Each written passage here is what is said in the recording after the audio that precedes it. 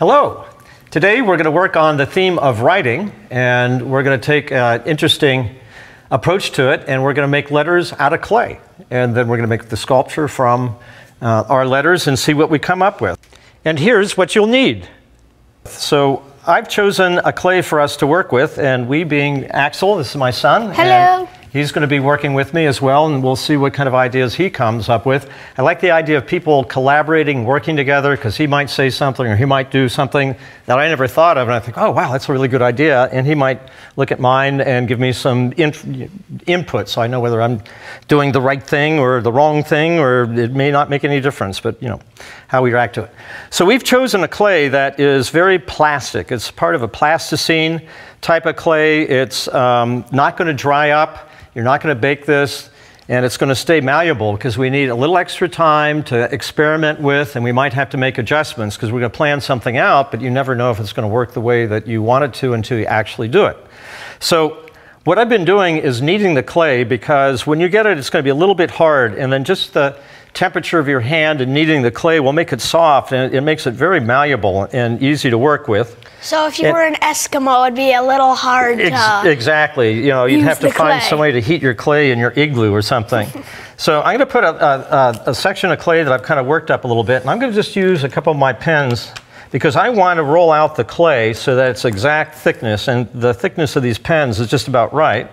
So I'm going to start off, and I'm going to just kind of roll it gently a little bit. And as it curls up, I might turn it over a little bit, and I'll roll it a little bit more. And we've used our letters plain just to begin with, but you could find different ways. You have different tools you could find, and you can make little textures maybe. That's that's so cool. Okay, I also, like you can find things that have a texture, texture in it, and maybe what I'll do is kind of gently roll into that a little bit and then take that off. Cool. It makes it look like a fish. Yeah, so I'm going to have a fish letter. then I just took my, uh, I have a metal triangle that I use for everything. And you could use a kitchen, uh, like a, a table knife, a serrated knife. I've got some nice little tools here, but they're a little small for what I want to do, so I have another uh, ceramic tool. And I'm going to square off the clay. And what's handy about this being a triangle, I've got a metal edge I can go against, and it doesn't take very much pressure. So I have formed the letter beginning.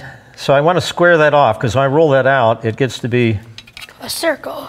well, it gets, it, you don't have those nice crisp edges. Yeah, the. Okay, Because so, you don't really want Okay, a so there's- really wavy letter unless that's your theme. yeah. Okay, so then I could use, uh, I could freeform it. So there I've made another letter F. Ooh, cool. Okay, so that's the general that's the general idea. And so what we've done is we've come up with some sketches with the idea of what we might do with our letters that we've made out of the clay.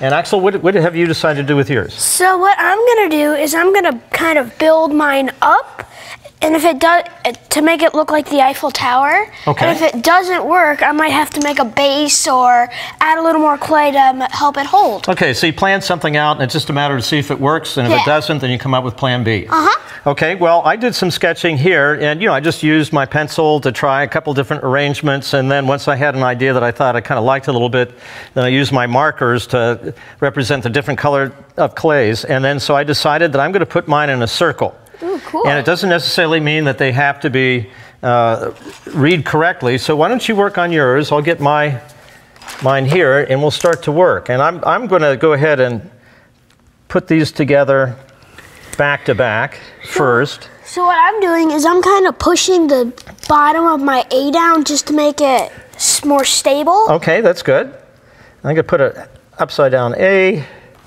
and then put the N so it's at an angle. And the N and the Z are kind of the same, but I'm going to go with that. Ooh, that looks fun. All right. How's the Eiffel Tower working out there? It's a little unbalanced, so I might have to add a base.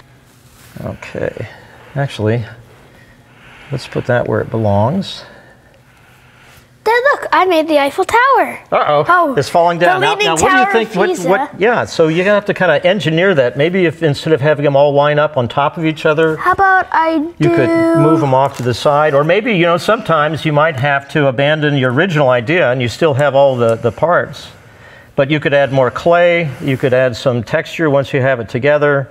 And what's nice about this Ooh, clay being that, Dad? That looks pretty cool. okay, now you just got to kind of Gotta balance it now. stabilize it a little bit. You might have to put it, um, say everything is up and down that way. You might have to put a little stabilizer to keep it from leaning forward. So if you need some clay, Here, you you. can put a little in through there, or something like that. I'm kind of liking the way that mine's turning out here. Cool, that looks like a little mini Stonehenge. Yeah, so what I'm going to do is kind of get this to blend together. And this is, you can see now that this is why it's kind of important to have a clay that you can keep on working with because maybe everything looks good on paper, but in the reality, you got to play with it a little bit and find out what works. And sometimes Here, Dad, how does this look? that's looking great. Sometimes, when you have to rethink your idea, you end up coming up with something that is better than your original idea, anyhow. So, in any project, whether it's with the clay, whether it is writing a paragraph or an essay or a story, as you work on the process, as you actually work on the real thing, sometimes you have to make changes, and it's all for the better. Dad, I made you a little Stonehenge person. Oh, there we go. Okay, we can put them right in there. Thanks, Axel. And next time, when you're writing something, maybe you'll consider doing it in 3D. Yeah.